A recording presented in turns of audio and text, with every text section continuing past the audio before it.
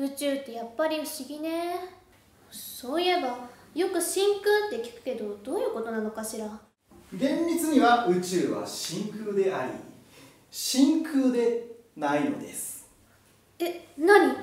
どうもはじめまして。私は人の知的好奇心を満たしそのエンドルフィンで生きているミニマム理系博士です。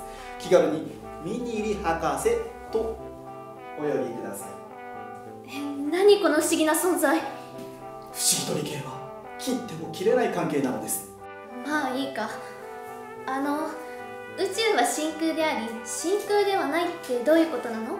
その答えは真空を知ることで説明できます。お礼にあなたのエンドルフィンを少々分けていただきますがよろしいですか？よくわからないけどいいですよ。結論を言いますと真空とは通常の大気圧より低い圧力の気体で満たされた空間の状態。です。なるほどそういうことか。ってなるわけないわよのエンドルフィンでしたか？それってどういうこと？少し説明しましょう。普段私たちの周りには空気があり空気は酸素や窒素など分子で構成されています。それら分子で構成された空気の重さによる圧力を気圧といい大気圧とも言います。知らず知らずのうちに気圧が私たちにもかかっています。じゃあなぜ人間は気圧に押しつぶされないの？それは人間の体にも空気が存在しているため外から受ける力があっても中から同じ力で押し返しているので押しつぶされないのです。なるほど。イエスそれじゃあ今度は簡易真空ポンプを使用して真空を見てみましょう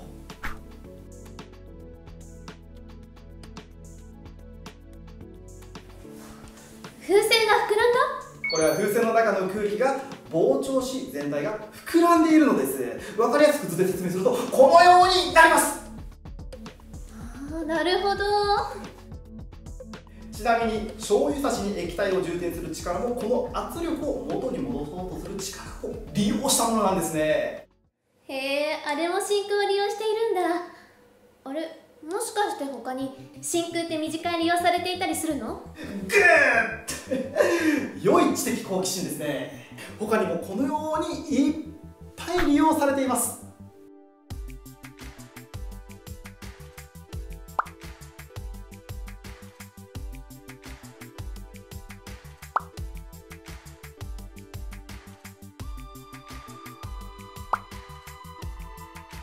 こんなにいろんなことに知らなかった。それじゃあ質問です山のような高いところでは空気が熱いですね。つまりどういうことか分かりますか？えー、っと気圧が低くなる？おーイエス！空気を構成する分子が少なくなり気圧は低くなります。大気圧よりも低い圧力の状態を真空と言います。それって最初に言った結論の真空とは通常の大気圧より低い圧力の気体で満たされた空間の状態。そういうことだったのね。うーんとても素敵なエンドルフィンで宇宙は真空であり真空ではないの答えは？素敵なエンドルフィンに夢中で忘れていました。